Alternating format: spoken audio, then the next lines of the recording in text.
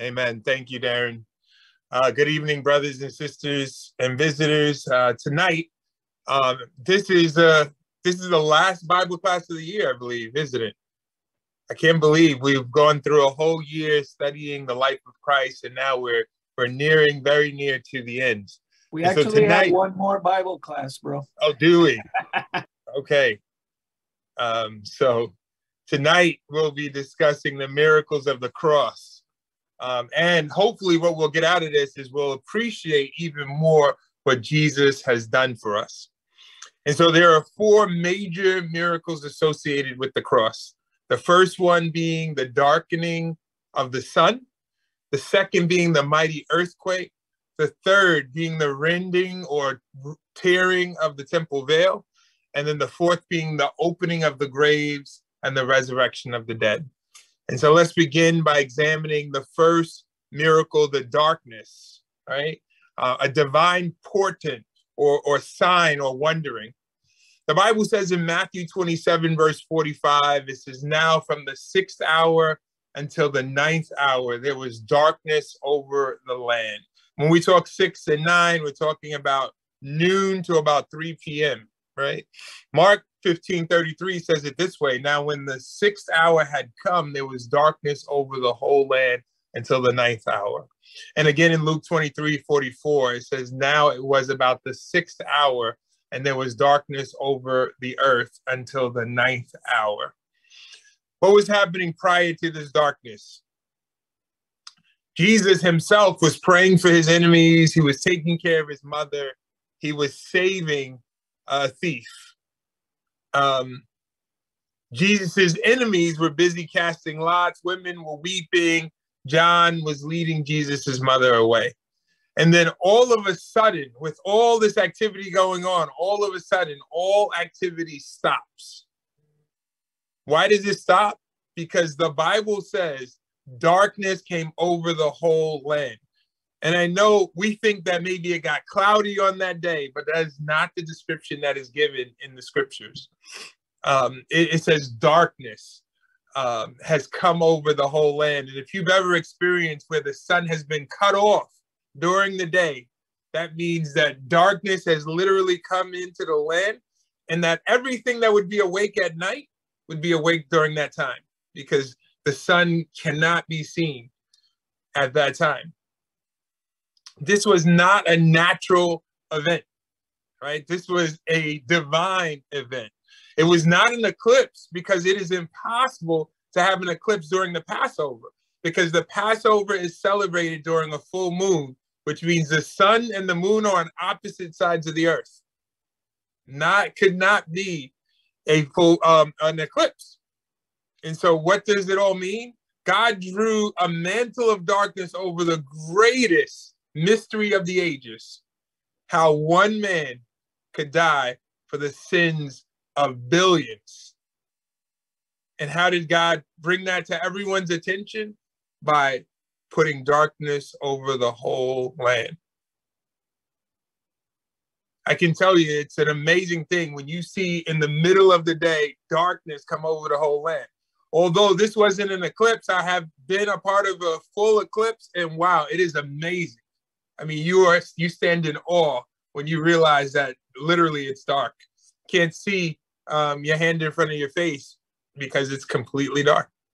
I believe that's what happened here. The second miracle is the earthquake, and this is God's divine power. Uh, and and you know, let's set this up. We need to set these things up in the right order. So we have darkness that went over the whole land.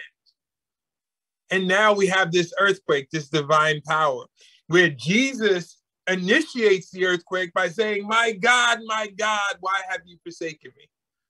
And then, as the scriptures read, the earth begins to shake and the rocks split and the graves were opened. Now, if you had any common sense, Jesus saying, My God, my God, why have you forsaken me? Darkness over the whole land. And then all of a sudden, an earthquake happens. Wow, this was God's demonstration of his power. You know, for all the people who may have thought the Romans were in charge or the Jewish um, religious leaders were in charge, God was reminding everyone who's in charge. He's in charge of, of the sky with the darkness, and he's in charge of the land with the shaking. When the law of Moses was given to Moses, uh, when the law was given to Moses on Mount Sinai, the whole mountain quaked violently. Exodus 19:18.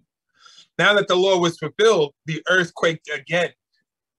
We see God immediately working um, to, to show that there was being a change was happening. Didn't just show up in the in the darkness, it didn't just show up in the quaking, but it even showed up in the centurion who was standing near and exclaimed, Surely this was the Son of God. Right? What was he what was he acknowledging? He was acknowledging that everything that's happening up to this point is clearly something connected to a divine power. And that this man that we were crucifying, of which I'm sure he's seen many crucifixions, but he's never seen it like this before. He's never seen it like this before. And so he exclaimed, Surely this was the Son of God. Let's talk about the veil that was torn, divine purpose. The Bible says in Matthew 27 51, then behold, the veil of the temple was torn in two from top to bottom, and the earthquake and the rocks were split. Mark 15 38 says, the veil of the temple was torn in two from top to bottom. Luke 23 45 says, then the sun was darkened and the veil of the temple was torn in two. Now, it's very interesting how the Bible describes this tearing of the temple veil because it says from top to bottom. And that's very, very important. What happens here? The curtain of the temple was torn at the end of 3 p.m. It 3 p.m. for the Jews, that would have been a time for evening prayer. That would have been a time for people gathering, Jews gathering to pray together. That would have been a time for the priests to go into the temple, into the holy place to offer incense while they prayed. This would have been one of the most sacred places, if not the most sacred place on earth for a Jew, is behind that veil. And the veil that we're talking about is a beautiful veil, 30 feet high, 30 feet wide. Violet, purple, crimson, fine linen. Now, the fact that it tears from the top to the bottom, at 30 feet. Remember, I said 30 feet. So that means this is not an act of vandalism, right? This is not something that happens by accident. No, the tearing of the, the veil is with divine purpose. What does this mean? Essentially, this was the ushering in of the new covenant under Jesus Christ. Having wiped out the handwriting of requirements that was against us, which was contrary to us, and he has taken it out of the way, having nailed it to the cross, Colossians 2:14. Ultimately, the rending, the tearing of the veil means that through the death of Jesus, the way of God is open to all people, no longer just for priests, and particularly a high priest. So it's a very, very, it's like one person really could go behind the veil. Now everyone has access to God. It's pretty amazing and pretty powerful. And it helps us to see what Jesus' death was all about. The fourth miracle here is the dead raised, a divine promise. The Bible says in Matthew 27, verses 51 through 53, then behold, the veil of the temple was torn in two from top to bottom, and the earth quaked, and the rocks were split, and the graves were opened. And many bodies of the saints who had fallen asleep were raised. And coming out of the graves after his resurrection, they were in went into the holy city and appeared to many. On the day Jesus died, what happened? Well, the graves were opened. And, and apparently, after they were opened, they were left open, right? This was um, very close to Passover, so no one wants to be un, uh, unclean for Passover. So these tombs open. Everyone says, "Okay, we'll we'll get to them later," um, not knowing that three days later, when Jesus raises from the dead, these people also raised from the dead. Once again, this is God showing, uh, giving us a very clear picture of what's going to happen at the end of all time. We have the opening of the grave, we have the raising of the dead. And um, what does this all mean? This is an obvious connection between Christ raising from the dead himself and the promise that he gave to many while he walked the earth that if you follow him, you will be raised with him. And that's the ultimate promise of the Lord's church, right? We were we were kind of joking about it before. Someone asked me if I was home, and I said, "Well, I'm not home yet because our ultimate home is a home that we have with Christ Jesus. It's the home and the promise that we have that one day these weak bodies, right, Tom? These weak bodies that get cold and they need ginger and turmeric, and we, we have to do all of these things to, to get well. These bodies will be transformed in the twinkling of an eye, and the corruptible will put on incorruption, and we will be with Christ.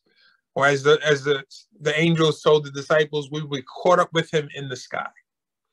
And so, in conclusion, God touched many things around the cross. He touched the sky, the rocks, the veil, uh, the many saints. He even touched the, the hearts of men, like the centurion. The question is, is will you allow him to touch you? God bless you. Have a great discussion this evening as we go to our breakout groups.